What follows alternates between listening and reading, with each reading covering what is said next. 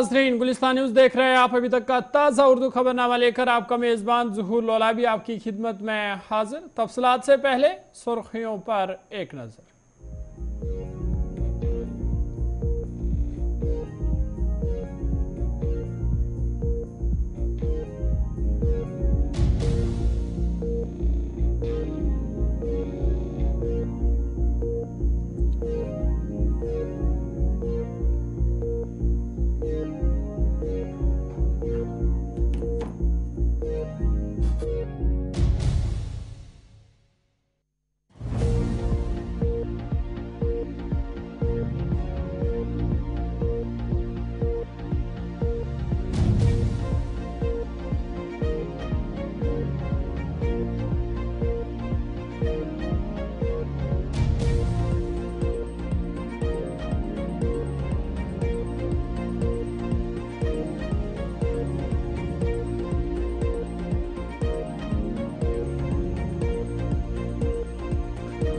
सुर्खियों के बाद खबरें तफसलात के साथ। सबसे पहले बड़ी और अहम खबर कुपवारा से इस वक्त की बड़ी खबर, जहाँ एलओसी के नज़दीक सिक्योरिटी फोर्स ने दरअंदाजी की कोशिश को नाकाम बनाया है। बड़ी और अहम खबर, शुमाली कश्मीर जिला कुपवारा से, जहाँ पे एलओसी के नज़दीक सिक्योरिटी फोर्स ने दरअंदाजी की कोशिश को नाकाम बनाया है और एक दरअंदाज को हलाक कर दिया गया है। आपको बता दें कि बड़ी और अहम खबर, शुमाली कश्मीर जिला कुपवारा से, जहाँ पे सिक्योरिटी फोर्स ने दरअंदाज, दरअंदाजी की बड़ी कोशिश को नाकाम बनाया है और एक दरअंदाज को हलाक भी किया गया है। तमाम बड़े पैमाने पर सर्च ऑपरेशन जारी है। बड़ी और अहम खबर, शुमाली कश्मीर के जिला कुपवारा से, जहाँ पे सिक्योरिटी फोर्स ने टंगडार में एलओसी के करीब दरअंदाजी की कोशिश को नाकाम बनाया है और फौज ने एक दरअंदाज को हलाक करने का दावा किया है, ताहम इलाके में बड़े पैमाने पर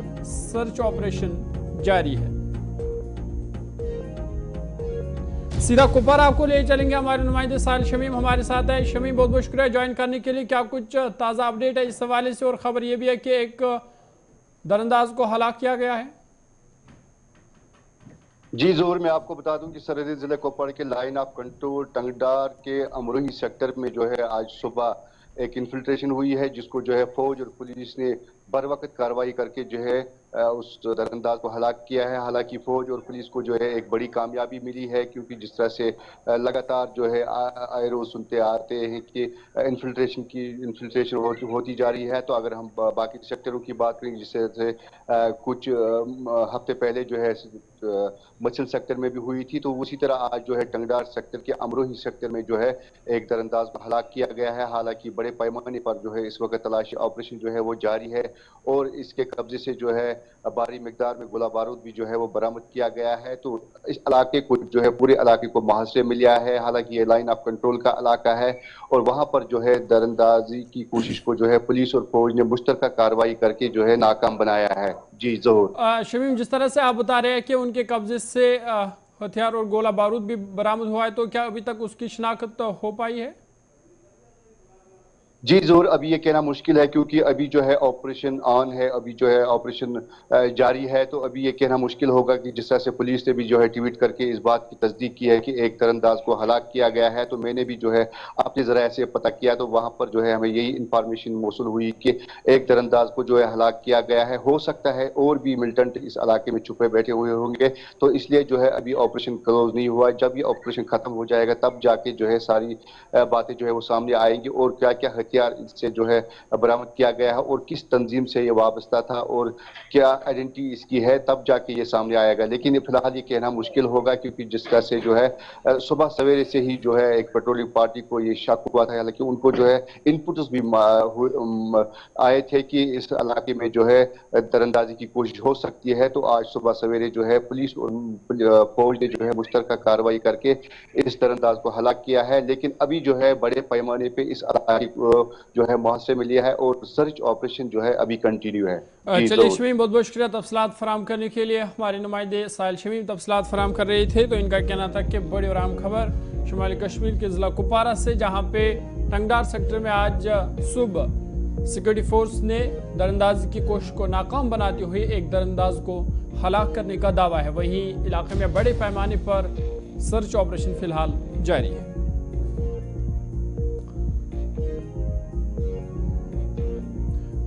आगे बढ़ते हैं। इधर जम्मू कश्मीर में इस वक्त दो बड़े ऑपरेशन चल रहे हैं। हालन कुलगाम, जहाँ तीन फौजी एहलकार हलाक हुए थे। अब हमलावरों को पकड़ने के लिए ड्रोन्स का सहारा लिया जा रहा है। वहीं राजौरी में भी सिक्योरिटी फोर्स और मिलिटेंटों के दरमियान झड़प जारी है। तफसलात के मुताबिक सरहद जिला राजौरी में सिक्योरिटी फोर्स और मिलिटेंटों के दरमियान रात देर झड़प शुरू हुई थी, जिसके नतीजे में अभी एक मिलिटेंट को हलाक किया गया था। ताहम झड़प अभी भी जारी इब्तदाई मालूम के मुताबिक सिक्योरिटी फोर्स को राजौरी की कंडी खास इलाके में मिलिटेंट की मौजूदगी की इतला मिली थी, जिसके बाद सिक्योरिटी फोर्स ने बड़े पैमाने पर तलाश ऑपरेशन शुरू किया था और रात देर गए तक ये ऑपरेशन इनकाउंटर में तब्दील हुआ और शुरुआती दौर में शदीद फायरिंग का तबादला भी हुआ, जिसके नतीजे में एक मिलिटेंट हलाक हुआ। इधर इलाके में मजीद सिक्योरिटी फोर्स को तैनात किया गया है, तमाम दाखिले और खारजी को रास्ते को बंद किया गया है और तलाश ऑपरेशन बड़े पैमाने पर जारी है। इधर जनूबी कश्मीर हाल कुलगाम ऑपरेशन जो जुमा की शाम शुरू हुआ था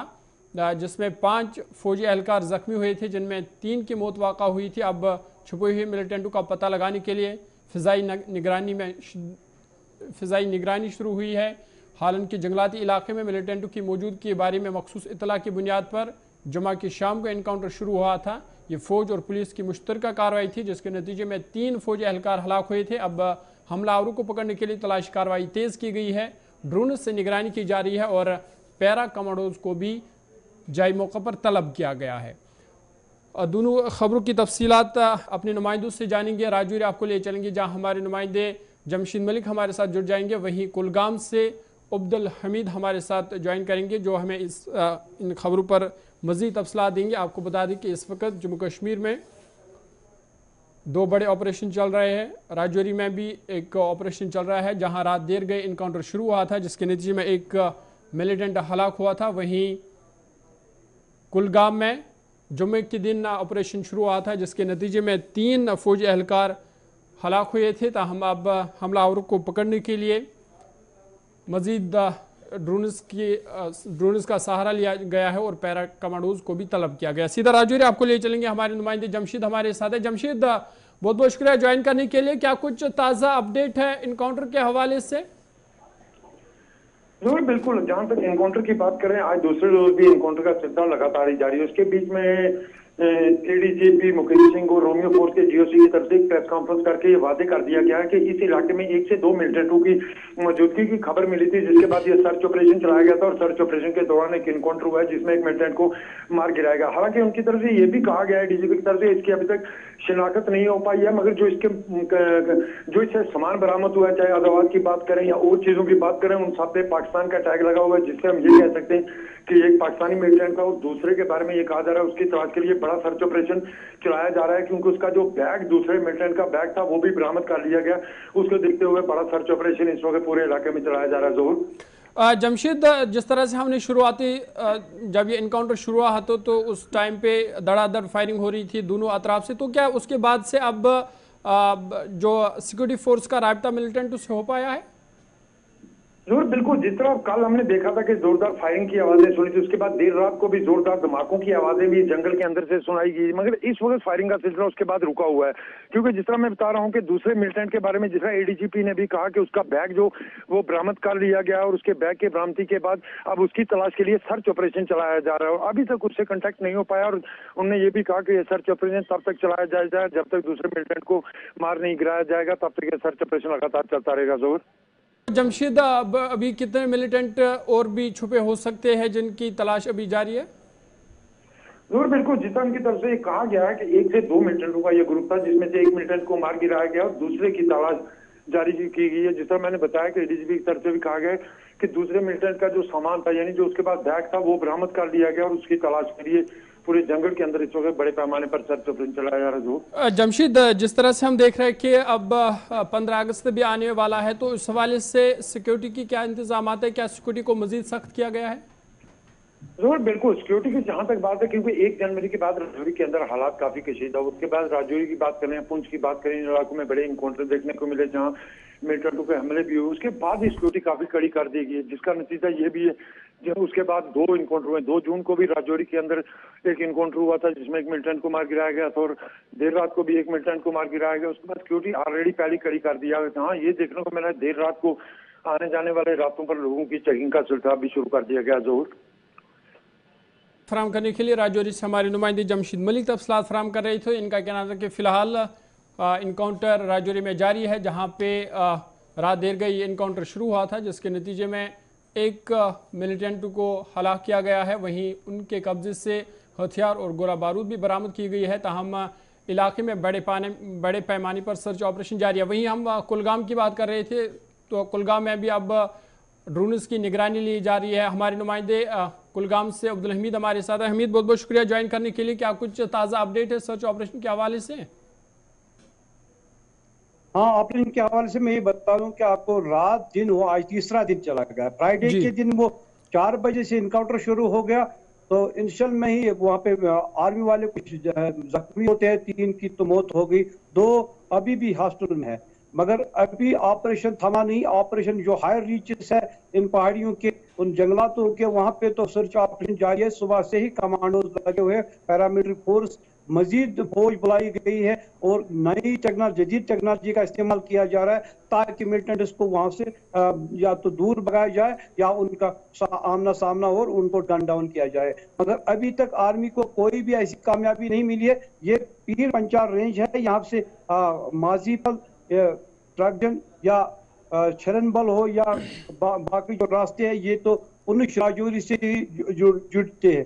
वहाँ से लोग, जो पहाड़ी लोग हैं, माल मवेशी को उसी रास्ते से लाते जो ये रास्ता, जिस रास्ते पे ये आज इनकाउंटर फ्राइडे को इनकाउंटर हुआ था, उस वहाँ पे फौज पूरी तरह से लगी हुई है, दिन हो या रात हो, फौज ने अभी तक उन जंगलों को नहीं छोड़ा है मजदूर फौज बुलाकर उन जंगलों का घेराव किया गया जहाँ पे भी कुछ भी कोई भी शराब उनको मिलता है, उसको पूरी तरह से खंगालते हैं। मगर तब तक वो आर्मी सोर्स से हमें पता चला है कि वो तब तक पीछे बैठने वाले नहीं, जब तक उनको मिलिटेंट जिन्होंने हमला किया है, उनको गन डाउन नहीं करेंगे। अभी पूरी तरह से जुट गई है, चाहे रात हो या दिन हो, वहाँ पे ऑपरेशन को चलाना एक बड़ा चैलेंज है आर्मी के लिए।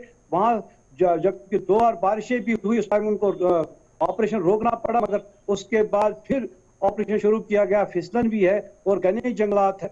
वहाँ पे जानवरों का भी खतरा है, मगर फौज पूरी तरह से वहाँ पे जुटी हुई है, ड्रोन का इस्तेमाल किया गया है और बाकी जो भी जदीद मशीनरी है उनको ढूंढ निकालने के लिए वो मशीनरी का इस्तेमाल किया जा रहा है। और मैं एक बात आपको बता दूँ, मोबाइल टावर नहीं है, जिससे फौज फौज सहूलियत पड़ जाती, मगर वहाँ पे मोबाइल टावर नहीं, मोबाइल टावर के ज़रिए से कुछ भी वो या कटिंग या बाकी चीज़ें निकालते। अभी यहाँ पे भी जो, हालन में जो इनकाउंटर हुआ उस हवाले से जहाँ पे भी उनको कोई भी जानकारी मिलती है, उसको खंगाला जा रहा है, कार रिकॉर्डिंग निकाली जा रही है, ये मिलिटेंट कहाँ से आए और हमला कैसे हुआ, उस पे पूरी तहकीकत हो रही है। उस पर एक टीम बिठाई दी गई है ताकि ये हमलावर किस तरीके से कामयाब हुए उस तरीके को पूरा बाहर निकाला जाए। जी। हमीद जिस तरह से हमने देखा कि जुम्मा के दिन ये इनकाउंटर शुरू हुआ है जिसके मतलब शुरुआती दौर में हमने देखा कि फायरिंग का तबादला दोनों अतराफ से हुआ तो क्या तब से अब तक मिलिटेंटों से कोई रबता हो पाया है सिक्योरिटी फोर्स का? नहीं अभी तो तलाश तो जारी है।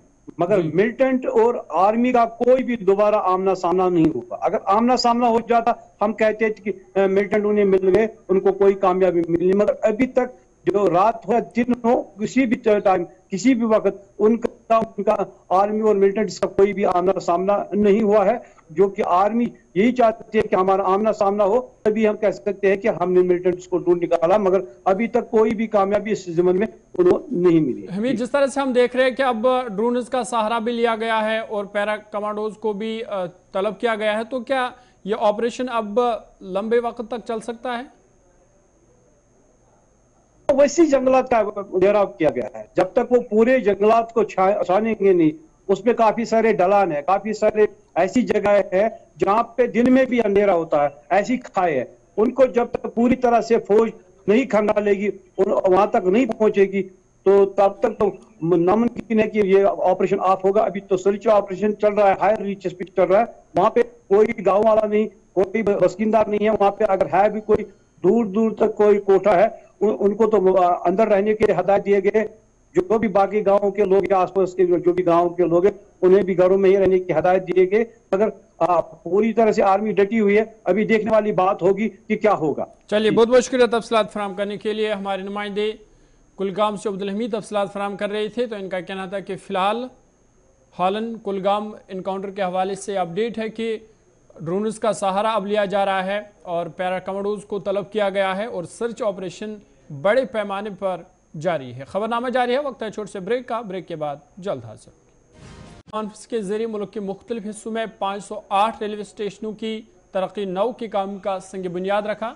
वजी अजम ने रेलवे को मुल्क भर के लोगों के लिए ट्रांसपोर्ट का पसंदीदा ज़रिया करार देते हुए रेलवे स्टेशनों पर आलमी मैार की सहूलियत फराम करने की अहमियत पर उन्होंने ज़ोर दिया और इस विजन के तहत अमृत भारत स्टेशन स्कीम शुरू की गई। इस स्कीम की मदद से मुल्क भर में तेरह सौ नौ स्टेशनों की दोबारा तरक्की के लिए तरक्की नौ का काम किया जाएगा। इन स्टेशनों को चौबीस हज़ार चार सौ सत्तर करोड़ रुपए से ज़्यादा की लागत से दोबारा तैयार किया जाएगा। शहर के दोनों अतराफ को मुनासिब तरीके से इन स्टेशनों से जोड़कर इन्हें सिटी सेंटर्स के तौर पर तैयार किया जाएगा। ये मनसूबा रेलवे स्टेशनों के आसपास के इलाके पर तोज्जो मरकूज करते हुए शहर की मजमू तरक्की के विजन से मुतासर है। इस फहरिस्त में जम्मू कश्मीर के तीन रेलवे स्टेशन भी शामिल है। बडगाम, जम्मू और उधमपुर रेलवे स्टेशन की भी मॉडर्नाइजेशन होगी, जिससे मुकामी लोगों को फ़ायदा होगा।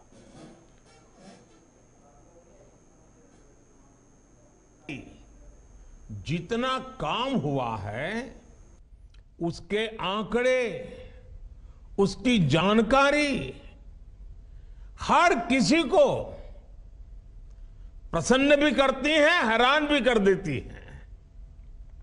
जैसे दुनिया में South Africa, Ukraine, Poland, UK और स्वीडन जैसे देशों में जितना रेल नेटवर्क है, उससे ज़्यादा रेल ट्रैक हमारे देश में इन नौ वर्षों में बिछाए गए हैं। आप कल्पना करिए scale. South Korea New Zealand और ऑस्ट्रेलिया जैसे देशों का जितना रेल नेटवर्क है, उससे ज़्यादा ट्रैक भारत ने अकेले पिछले साल बनाए हैं। एक साल में। भारत में आज आधुनिक ट्रेनों की संख्या भी तेज़ी से बढ़ रही है। आज देश का लक्ष्य है कि रेलवे की यात्रा हर यात्री के लिए, हर नागरिक के लिए सुलभ भी हो और सुखद भी हो। अब ट्रेन से लेकर स्टेशन तक आपको एक बेहतर, एक उम्दा से उम्दा एक्सपीरियंस देने का प्रयास है। प्लेटफॉर्म्स पर बैठने के लिए बेहतर सीटें लग रही हैं, अच्छे वेटिंग रूम बनाए जा रहे हैं। आज देश के हज़ारों रेलवे स्टेशनों पर मुफ़्त वाईफाई की सुविधा है। हमने देखा है, इस मुफ़्त इंटरनेट का कितने ही युवाओं ने लाभ उठाया है। पढ़ाई करके वो अब बहुत कुछ अपने जीवन में सिद्धियाँ प्राप्त कर चुके हैं। साथियों, ये इतनी बड़ी सिद्धियाँ हैं जिस प्रकार से रेलवे में काम हुआ है। किसी भी पीएम का मन कर जाएगा कि इनका ज़िक्र 15 अगस्त को लाल किले से करें। इधर वस्त कश्मीर बडगाम में इस हवाले से एक तकरीब का इनका किया गया, जिसमें एल जी मनोज सिन्हा ने मेहमान खसूसी तौर शिरकत की। उन्होंने इस मौका पर कहा कि 2014 के बाद रेलवे में बहुत तब्दीलियाँ देखी गई। मुसाफिर को सहूलियात पहुँचाने में रेलवेज में बदलाव किया गया। उन्होंने कहा कि भारतीय रेलवे दुनिया के बेहतरीन रेलवेज में से एक है।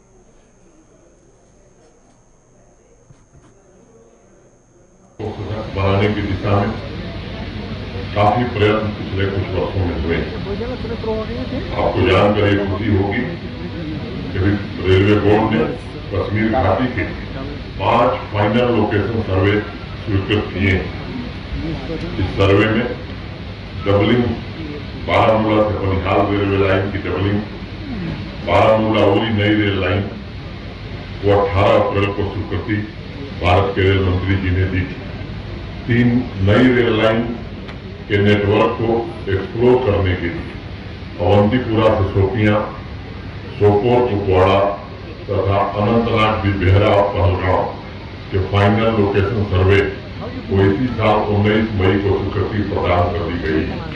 अब इन सभी लाइन का survey cost estimate feasibility report तैयार की जाएगी।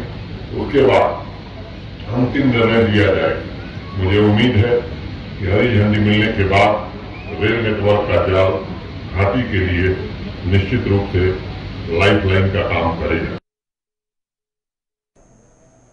इधर उधमपुर में भी इस हवाले से एक तकरीब का इनका किया गया, जिसमें मरकजी वजी ममलिकत डॉक्टर जितेंद्र सिंह ने मेहमान खसूसी तौर शिरकत की। इस मौका पर मुकामी लोगों ने भी बात करते हुए बताया कि रेलवे स्टेशन की अपग्रेडेशन से मुकामी लोगों को फ़ायदा होगा, रोज़गार के नए मौके पैदा होंगे।